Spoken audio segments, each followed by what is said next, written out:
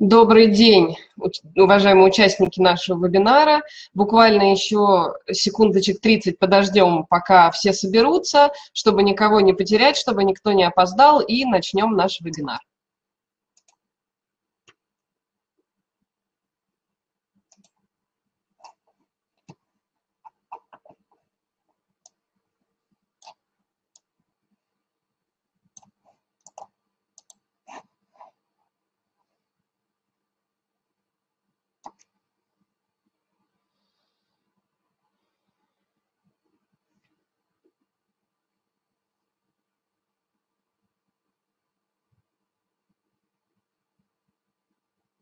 Ну, давайте начинать. А, добрый день еще раз всем, кто присоединился. А, сегодня я проведу вебинар а, по биологии. Мы с вами поговорим о заданиях линии 27 в ЕГЭ. Зовут меня Семешова Елена Константиновна. Свои вопросы вы можете задавать в чат. Также в чат после окончания вебинара я сброшу несколько ссылок полезных, которые нам помогут в подготовке к единому государственному государственному экзамену по биологии, а конкретно по заданию номер 27. И э, также вебинар будет доступен в записи, то есть вы сможете его еще раз посмотреть и остановиться на каких-то важных моментах, которые э, необходимы именно вам. Итак, мы сегодня говорим про задание 27 линии. Задание 27 линии представ... Э, проверяют умение применять знания по цитологии, которые связаны, а также знания, связанные с процессом реализации наследственной информации в клетке и делением в клетке. Для того, чтобы э, правильно и э, максимально ответить на это задание, э, ученикам необходимо уметь работать с таблицей генетического кода, решать цитологические задачи на определение числа хромосом, количество молекул ДНК в разных формах митоза и мейоза, а также уметь определять хромосомный набор в клетках гаметофита и спорофита растений разных отделов. Вот эти вот умения необходимо э, знать, чтобы решить задание на максимальное количество баллов. Вообще задания 27 линии представляют собой текстовую задачу, которая может быть решена э, согласно основным генетико-цитологическим закономерностям или с помощью каких-то простых арифметических вычислений. Также мы, я еще раз повторюсь, используем правило комплементарности генетического кода. В ответ обязательно необходимо записать ход решения задачи с пояснениями. Ну, э, на слайде у нас с вами представлен примерный ход работы над заданием. Конечно, первое, это необходимо внимательно прочитать задачу. Это касается не только заданий 27 линии, это, в принципе, касается любого задания на едином государственном экзамене. Первое, что мы делаем, это внимательно читаем задачу. Дальше анализируем, о каком цитогенетическом процессе э, будет идти в задании речь. Дальше выполняем необходимые вычисления и действия на черновике удобным нам способом. И э, четвертым пунктом записываем развернутый ответ с ходом решения и со всеми пояснениями уже на чистовик. Обратите внимание, при выполнении данного вида заданий необходимо не только указать верный ответ, но и уметь объяснить ход самого решения, то есть как мы пришли к этому верному ответу. Вообще э, в задании 27 линии нам могут встретиться задачи на биосинтез белка, задачи на хромосомный набор клетки и его изменения во время деления клетки, а также задачи, связанные на изменение хромосомного набора в процессе жизненного цикла клетки. Такие три типа задач могут быть в 27, 27 линии заданий. Мы с вами сегодня поговорим с задачами, связанными с именно биосинтезом белка. На биосинтез белка есть пять основных вариантов задач заданий. Это э, первый вариант, когда нам дан фрагмент двуцепочечной молекулы ДНК и необходимо определить информативную часть гена э, и последовательность аминокислот в белке, Это задача, когда дан фрагмент двуцепочечной молекулы ДНК и э, мутация, которая при, э, произошла, и необходимо определить последовательность аминокислот в белке до мутации и после мутации. Э, это задание, где дана вирусная РНК, и нужно определить последовательность аминокислот в вирусном белке. Э, четвертый тип заданий – это когда дан участок ДНК, который Э, кодирует участок центральной петли ТРНК, и нам необходимо найти ту аминокислоту, которая будет переносить данное конкретное транспортное РНК. И когда нам даны отдельно молекулы транспортной РНК, необходимо найти информационную РНК и аминокислотную последовательность белка. А, в этом году задание изменилось на два элемента. Во-первых, в задании а, теперь указывается антипараллельность цепей ДНК. То есть указывается, указываются 5 и штрих концы молекулы. И также мы говорим о том, что э, поменялось, э, точнее ввели более точное направление прочтения кодонов и антикодонов РНК. И у нас с вами на слайде э, показан старый вариант записи задания, где просто две цепочки ДНК и синтезируемая цепь и РНК. И э, вот здесь внизу также на слайде показан новый вариант записи. Теперь э, подписана цепи, смысловая или кодирующая цепь. Обратите внимание, вот у нас обозначен 5 и штрих конец. И матричная или транскрибируемая цепь обозначен 3 э, штрих и 5 штрих концы. И то же самое мы видим обозначение антипараллельности у молекулы информационной РНК. А, вот здесь у нас схема, которая а, показывает, а, откуда мы берем да, эти обозначения, каким образом на ДНК мы можем видеть эту антипараллельность. Вообще, с чего начать? Именно когда мы подходим к э, решению 27 задачи. Еще раз такой небольшой план выполнения, да, а, мы внимательно читаем задание. Очень важно его внимательно прочитать, потому что в задании могут быть какие-то специфические условия, э, которые указаны, что необходимо сделать именно вот так, или необходимо найти именно конкретную молекулу. Дальше мы с вами и э, смотрим, какую молекулу нам необходимо найти в задании, определяем как раз-таки специальные условия в задаче и оформляем решение. А, можно воспользоваться вот такой вот схемой. Посмотрите, с чего мы находим молекулу, то есть с ДНК, с ИРНК или с транспортной РНК, какую мы молекулу должны найти, здесь все то же самое, но добавляется, соответственно, белок, и каким образом мы находим эту молекулу, либо по принципу комплементарности, либо по таблице генетического года. То есть вот три таких простых шага, чтобы правильно решить данную задачу. А, тоже а, обращаю ваше внимание на такую вот схему, а, которая нам может помочь более правильно, ну, как бы решить задание более четко. Посмотрите, ДНК и РНК – белок.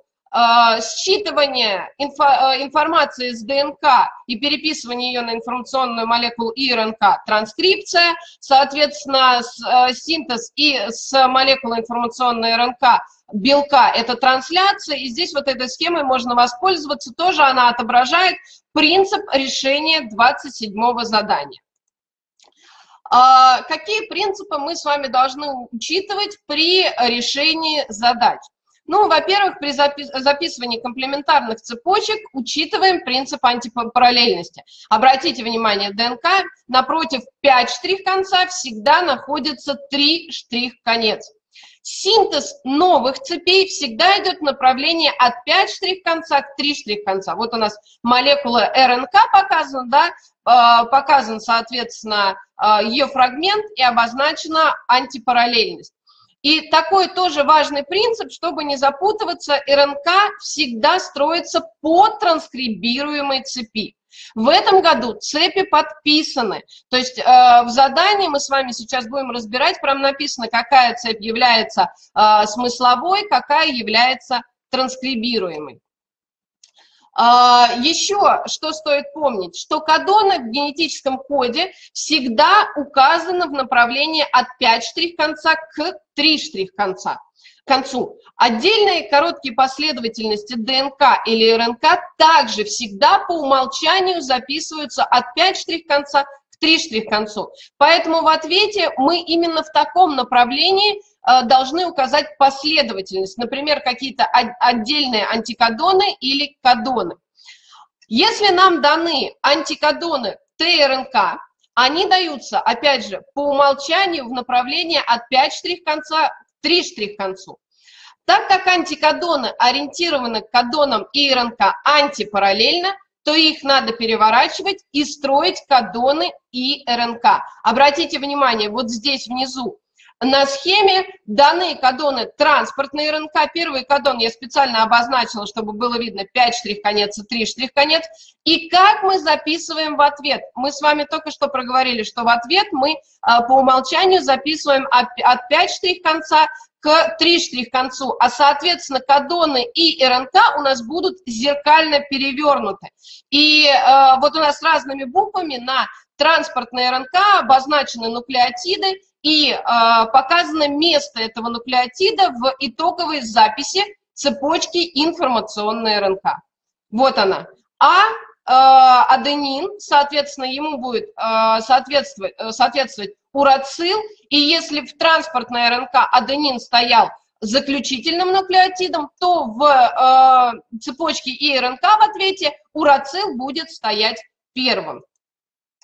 Давайте, прежде чем перейти к самим заданиям, немножечко прям остановимся на, э, ну, как бы на теории, да, на том, что мы с вами э, должны знать, чтобы решить эту задачу на максимальное количество баллов.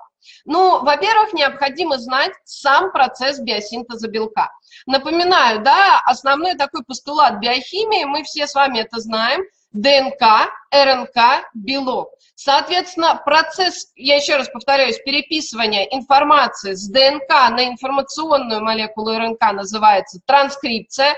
Посмотрите, проходит транскрипция в ядре, и, соответственно, эм, синтез белка, то есть считывание информации с ИРНК и синтез белка уже называется трансляцией, и трансляция идет в цитоплазме на особенном органоиде, который называется рибосома. Вот здесь у нас внизу показаны все, э, практически все компоненты, которые нужны для э, процесса биосинтеза белка. Это обязательно молекула ДНК, это информационная РНК, транспортная РНК, рибосомальная РНК, это специфические ферменты, аминокислоты, ну и, конечно же, энергетическое обеспечение процесса – это молекула АТФ.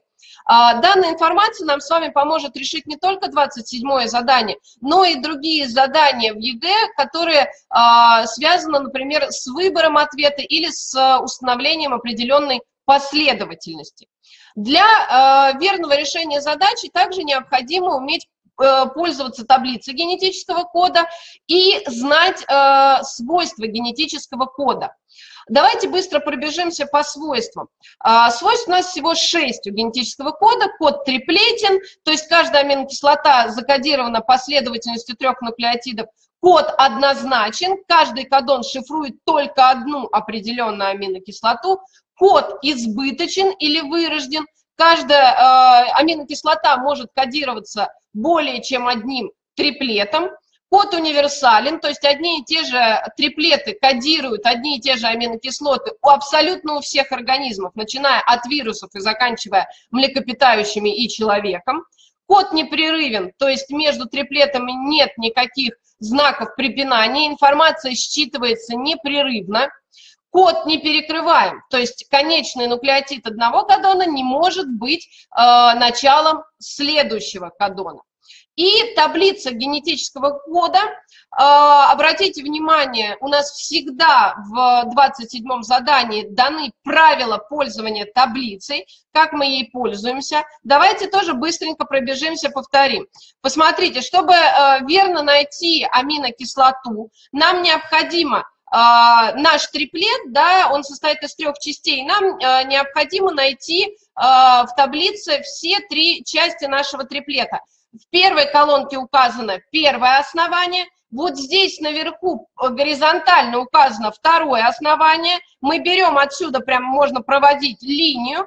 И в третьей колонке указано третье основание. Опять берем, проводим линию, и на пересечении а, этих трех линий будет та аминокислота, которую кодирует данный триплет. Ну вот здесь на примере аминокислоты метионин у нас с вами показано, каким образом мы работаем с этой таблицей. А метионин кодируется триплетом АУГ.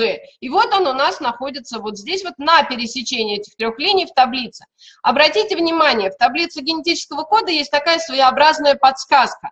Когда нам необходимо синтезировать несколько молекул, бывает, что мы там с ИРНК, ТРНК, а, потом где-то надо ДНК найти, мы, бывает, путаемся, откуда там нужно, а, нам нужно синтезировать белок. Посмотрите, таблица генетического кода и РНК, информационный РНК. Вот можно заметочку там себе такую поставить, что мы всегда белок синтезируем с информационной РНК.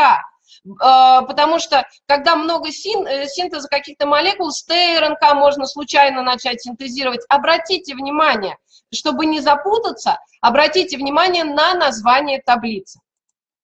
И давайте с вами разберем а, несколько типовых заданий, которые нам могут встретиться в 27-й э, линии, связанных с биосинтезом белка. Первое задание, когда нам э, дан фрагмент начала гена, как я и говорила, посмотрите, у нас обязательно в этом году подписана смысловая цепь и транскрибируемая цепь, я обозначила их разными цветами, и сказано, что ген содержит информативную и неинформативную части для трансляции. Информативная часть триплета, э, кодирующего начинается с э, триплета, кодирующей аминокислоту мед. Вот красным я выделила, вот оно то особенное условие, которое нам обязательно необходимо учесть. Ну и дальше у нас стоят вопросы, с какого нуклеотида начинается информативная часть гена, определить последовательность аминокислот э, в полипептидной цепи и обязательно использовать таблицу генетического кода. Давайте разберем пример решения. Что нам необходимо понимать для решения конкретно этой задачи? Что смысловая цепь ДНК всегда начинается с 5 штрих-конца и заканчивается 3 штрих-концом при чтении слева направо. Транскрибируемая цепь антипараллельна, а соответственно будет начинаться от 3 штрих-конца и заканчиваться 5 штрих-концом. Э, э, внимательно читая условия задания, мы с вами выясняем, что информативная часть гена начинается с триплета, кодирующего аминокислоту метионин. Вы можете прямо э, в контрольно-измерительных материалах, в КИМах, отметить себе вот эти важные условия, прям подчеркнуть, чтобы не забыть. Как мы будем решать эту задачу? Первое, что мы делаем, синтезируем э, на, э, по транскрибируемой цепи, синтезируем молекулу информационной РНК. Вот у нас с вами показана молекула, которая получилась в результате э, соответственно, процесса переписывания информации с ДНК на ИРНК. Дальше мы с вами должны найти по таблице генетического кода триплет, который кодирует аминокислоту МЕД. Ну, мы с вами уже сегодня учились э, его искать и знаем, что это триплет АУГ. Посмотрите, он у меня здесь отмечен красным таким квадратиком. Чтобы его найти, мы, начиная с первого нуклеотида, ищем, э, э, начинаем определять триплеты. УАА, это не метионин, не подходит. ААУ, то же самое, не подходит. АУГ, вот он, триплет, который кодирует аминокислоту метионин. Значит, информативная часть гена у нас начнется непосредственно с этого триплета. Вот таким образом вам необходимо будет найти этот триплет. Вы на черновике можете а, сколько вам э, удобно раз переписывать РНК и искать триплеты, каким образом вам удобно отделять черточками, показывать как-то линиями. Главное э, найти этот триплет, с которого начинается информативная часть гена. А дальше по таблице генетического кода мы находим э, фрагмент белка, который синтезируется на этой информационной РНК. Обратите внимание, что метионин также входит в этот белок. То есть синтез мы начинаем с э, э, метионина. И дальше трианин, ланин, тирозин, изолицин и гистидин. А, обратить, обращаю ваше внимание, что а, молекула информационной РНК она записана без каких-либо черточек, пробелов, знаков препинания. То есть предполагается, что э, эта молекула, она единая. Мы с вами сказали, что нет никаких знаков препинания, нет пробелов. Поэтому в чистовике необходимо уже написать молекулу информационной РНК, обозначив 5 и штрих-концы без каких-либо знаков. Опять же, на черни, черновике вы можете писать так, как вам будет удобно. А вот, например, молекула белка, фрагмент синтезируемого белка, обратите внимание, записывается через дефис, то есть, ну, через черточку, условно говоря, потому что мы уже предполагаем, что между аминокислотами образовались пептидные связи. Поэтому здесь мы с вами обязательно пишем дефис, не забывайте про это. И такое небольшое пояснение обязательно необходимо описывать каждый шаг мы синтезируем и РНК на транскрибируемой цепи. Дальше пишем РНК. Ищем по таблице триплет, кодирующий метионин. То есть вот эти слова у вас обязательно должны быть, потому что в задании у нас с вами, я сейчас вернусь на предыдущий слайд, указано «Ответ поясните». То есть вы должны э, обязательно написать, каким образом вы пришли к конкретному решению конкретной части задач. А, еще один а, пример задания. Посмотрите, молекулы транспортной РНК несут соответствующие антикодоны в рибосому в следующем порядке. Необходимо определить последовательность нуклеотидов смысловой, транскрибируемой цепей ДНК и РНК, и аминокислот в молекулы белка. И вот у нас здесь особые условия, опять я его выделила красным цветом. При выполнении задания необходимо учитывать, что антикодоны ТРНК антипараллельны кодонам информационной РНК. Давайте посмотрим, каким образом мы будем решать и записывать в э, чистовой вариант уже это задание. А, обратите внимание, антикодоны ТРНК. Как я говорила в самом начале, антикодоны нам даны в направлении от 5 штрих-конца к 3 штрих-концу. Мне еще э, хочется обратить ваше внимание, что антикодоны записаны через запятую. Антикодон ТРНК – это, э, антикодон ТРНК – это участок центральной петли транспортной молекулы РНК. И предполагается, что каждый антикодон принадлежит своей транспортной молекуле РНК. Поэтому антикодон ТРНК мы с вами пишем через запятую, через какой-то знак препинания или с увеличенным пробелом, потому что каждый антикодон принадлежит своей личной молекуле транспортной РНК. То есть это не одна единственная молекула. Дальше мы с вами находим э, информационную РНК по принципу комплементарности. Вот я здесь на примере первого э, антикодона транспортной РНК и а, э, кодона информационной РНК опять обозначила, что мы учитываем принцип антипараллельности. То есть у нас информационная РНК тоже записана от 5 штрих-конца к 3 штрих-концу, и пока э, каждый антикодон зеркально перевернут. То есть здесь ГУА, а здесь у нас УАЦ, зеркальное отображение ИРНК. Вы можете на черновике записать так, как вам удобно, то есть, э, например, С, А, У, и затем зеркально, соответственно, перевернуть, чтобы вам, опять же, было это удобно. Дальше, по информационной РНК мы находим транскрибируемую цепь ДНК, а уже по транскрибируемой находим смысловую. Вот у нас транскрибируемая цепь построена на, э, по принципу комплементарности с э, информационной РНК. Дальше по информационной РНК, используя таблицу генетического кода, мы находим аминокислотную последовательность э, синтезируемого белка. Вы можете сразу найти аминокислотную последовательность белка с информационной РНК и после этого э, синтезировать, э, не синтезировать уже, а построить две цепочки ДНК. Но обязательно укажите, что вы делаете и в какой последовательности.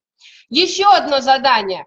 А, когда в клетку проникает вирусная РНК с определенной последовательности, и нам необходимо определить последовательность вирусного белка, если матрицей для синтеза информационной РНК служит цепь комплементарная вирусной РНК. Опять, это особое условие, я его здесь специально выделила.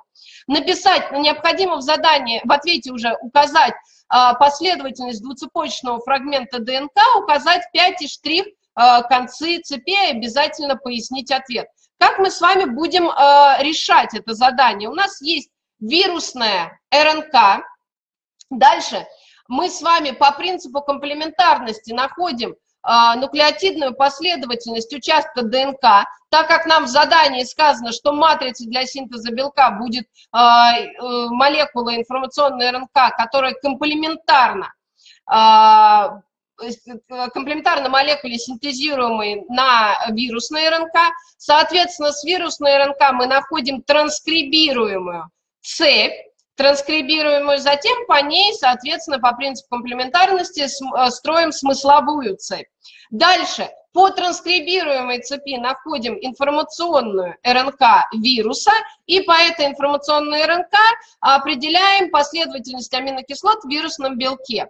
А, обращаю ваше внимание, и вы наверняка уже сталкивались с таким видом заданий, что у нас вирусная РНК, она будет абсолютной э, копией э, информационной РНК вируса. Да, это действительно так, но так как э, мы должны с вами в задании показать, что мы поняли, что для, сначала будет э, строиться на основании вирусной РНК, двуцепочечная молекула ДНК, потом по принципу, а, по принципу комплементарности у нас с вами будет считываться с ДНК и РНК, а, мы должны обязательно это условие учесть. Но это такая будет своеобразная вам подсказка, где вы можете еще раз проверить, правильно ли вы синтезировали информационную РНК вируса, а если вдруг э, у вас эти две цепочки не сходятся, значит, где-то вы ошиблись в синтезе, соответственно, молекулы ДНК, может быть, забыли заменить, например, урацил на тимин. Это вот э, определенный такой вот аспект, который может вам помочь найти э, закравшуюся ошибку, которую мы, например, могли не заметить в процессе решения этой задачи. Ну и по ИРНК уже определяем аминокислотную последовательность при помощи таблицы генетического кода. И э, еще одно задание, когда нам а, дан исходный э, фрагмент молекулы ДНК, и сказано, что произошла замена одного нуклеотида в ДНК, в результате чего четвертая аминокислота заменилась на аминокислоту валин.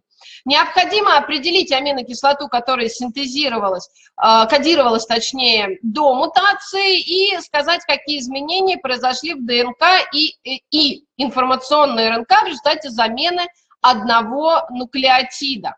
Ну, э, мы с вами знаем, что речь здесь будет идти уже о генной мутации, то есть замена всего лишь одного нуклеотида э, приводит к э, генной мутации и к синтезу других, соответственно, будет другая, синтезирована другая последовательность аминокислот в белке. Итак, как мы записываем решение данной задачи? А, четвертый триплет на смысловой цепи ДНК а, будет ГАТ. Он записан в направлении от 5 штрих, 3 штрих к концу.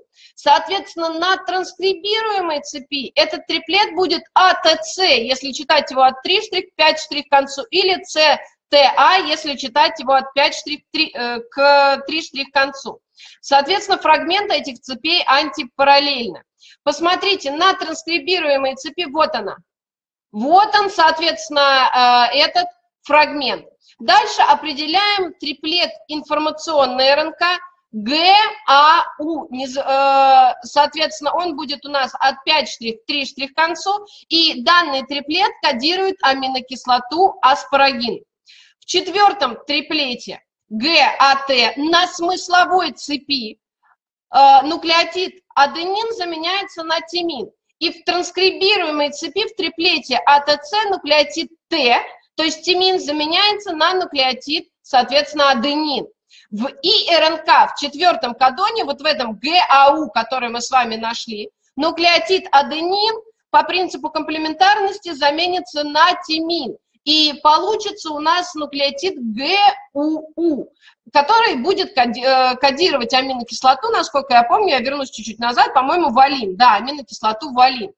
А, свойство генетического кода, которое а, нас просят указать, это универсальность. Обратите внимание, что наличие в ответе множества триплетов, кодирующих аминокислоту валин, считается ошибкой, так как вот этим особенным условием в задании нам указано, что произошла замена всего одного нуклеотида. Я вот выделила здесь замены одного нуклеотида. И в результате, если мы с вами укажем, множество триплетов, которые кодируют валин, то, а, соответственно, этот критерий не учтут и дадут меньшее количество баллов. Поэтому будьте внимательны. Не нужно переписывать все триплеты, которые могут кодировать аминокислоту валин.